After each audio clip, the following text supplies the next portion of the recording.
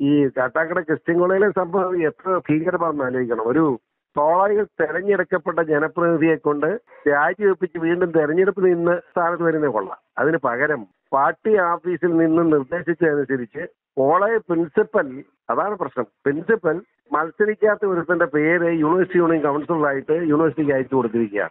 എത്ര ഭീകരമായത് എത്ര ഭയങ്കര ഭയ- ഇത് ഇത്രമാത്രം വലിയ വൃത്തികേട് ചെയ്യാനുള്ള ധൈര്യം ഒരു പ്രിൻസിപ്പൽ ഉണ്ടായി എന്ന് പറഞ്ഞാൽ അയാളെ സസ്പെൻഡ് ചെയ്താൽ മാത്രം പോലെ സർവീസിൽ നിന്ന് ഡിസ്മിസ് ചെയ്ത് പുറത്തു കളയണം ഒരു പ്രിൻസിപ്പൽ ആയിട്ടിരിക്കാൻ യോഗ്യനല്ല ഒരു പ്രിൻസിപ്പൽ എന്ന് പറഞ്ഞാൽ സത്യത്തിന് നീതിക്കും ധർമ്മത്തിനും വില കൽപ്പിക്കുന്ന പ്രിൻസിപ്പൽമാരെ അതിന് വിരുദ്ധമായി ഏറ്റവും നാണംകെട്ട നടപടി സ്വീകരിച്ച ആ പ്രിൻസിപ്പൽ ഇനി പ്രിൻസിപ്പലായി തുടരുന്നത് ശരിയല്ല.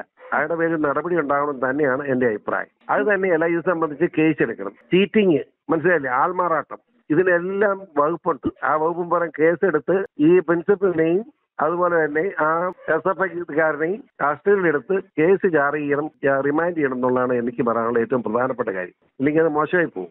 എങ്ങനെ ഇങ്ങനെയൊക്കെ ചെയ്യുന്നത് ഇപ്പൊ സഹാക്കന്മാർക്ക് എന്തു ആകാം എവിടെ കഞ്ചാവ് പിടിച്ചാലും അത് ക- ഏഹ് സഖാവിന്റെതാ എവിടെ കഞ്ചാവ് പഠിച്ച് കുത്തും പെട്ടും ഉണ്ടായാലും കഞ്ചാവ് എല്ലാം ഈ എസ് എഫ് ഐക്കാരനാണ് അല്ലെങ്കിൽ ഡിവൈഎഫ്കാരനാണ് ഇപ്പോ പിണറായി വിജയൻ എല്ലാവരും കയറുവഴി വിട്ടിരിക്കല്ലേ? എന്നെ കഞ്ചാവ് കച്ചവടം പെണ്ണ് കച്ചവടം എന്നെ വേണം ചെയ്തോണം ജീവിച്ചോണം കാശുണ്ടായിക്കോണം പറഞ്ഞു കഴിഞ്ഞാൽ ഞാനിങ്ങനെ മൂട്ടിക്കും പിടിച്ചു പറിക്കും ഞാനും എന്റെ മരുമകനും മകളും മകനും എല്ലാം മൂട്ടിക്കും.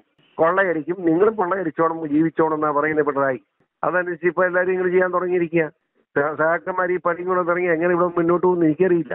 വളരെ ഖേദകരമാണെന്ന് മാത്രമേ ഇത് സംബന്ധിച്ച് എനിക്ക് പറയാൻ. ഇപ്പൊ ഇരുപത്തി അയ്യായിരം കോടി രൂപയാണ് കപ്പലെ പിടിച്ചത്. കപ്പലിൽ നിന്ന് എടുത്ത് കടലിൽ മുക്കിയിട്ടിരിക്കുന്നത് എഴുപത്തി അയ്യായിരം കോടിയുടെ സാധനം ഉണ്ടെന്നാണ് ഇപ്പൊ ഞാൻ കേട്ടത് എനിക്ക് കേട്ടത്. അങ്ങനെയെങ്കിൽ ഈ പണം ഇത് കൊണ്ടുവന്ന ഒരു ഹാജിരയാണ് ഹാജിയാണെന്ന് തെളിഞ്ഞു പാകിസ്ഥാനാണ്. പാകിസ്ഥാൻ മാത്രമല്ല അയാൾ സിറിയ ആയിട്ട് ബന്ധപ്പെട്ടവരുടെ ജീവിതം മനസ്സിലാക്കുന്നത്. അപ്പോൾ ഇത് വളരെ വലിയ അപകടകരമായ നിലയല്ലേ? ഇതെങ്ങനെ സംഭവിക്കുന്നു?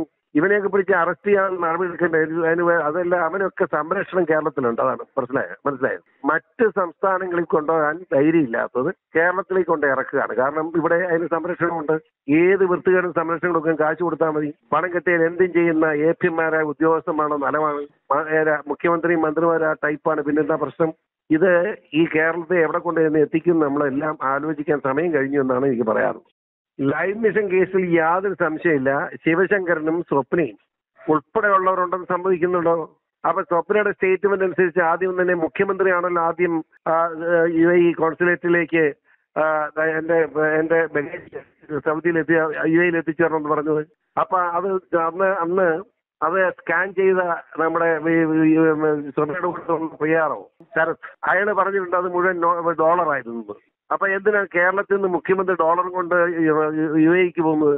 അവിടെ തിരിച്ചു വന്ന സാധനം മുഴുവൻ സ്വർണമായിരുന്നു അതാണ് ഈ സ്വർണം അത് പകർപ്പുള്ള സത്യമല്ലേ? അപ്പൊ ഇതെല്ലാം ഒന്നാം പ്രതിയാണ് ശിവശങ്കർ മാത്രമാണ്. ശിവശങ്കർ അല്ല ഒന്നാം പ്രതി കേരളത്തിന്റെ മുഖ്യമന്ത്രിയായി ഇപ്പോൾ അങ്ങനെ ലാളിച്ച് ജീവിക്കുന്ന പിണറായി വിജയനാണ് ഒന്നാം പ്രതി. പിണറായി വിജയൻ മാത്രമല്ല പിണറായി വിജയന്റെ മകനും മകളും ഭാര്യ ഉൾപ്പെടെ പ്രതിയാകേണ്ടതാണ്. യാതൊരു സംശയമില്ല കൊള്ളയടിച്ച് ചുരിച്ചു നടക്കുക. ഇതൊക്കെ ചോദിക്കാനും പറയാനും ആരില്ല എന്ന് പറഞ്ഞ് നമ്മളെന്താ ചെയ്യുന്നത്?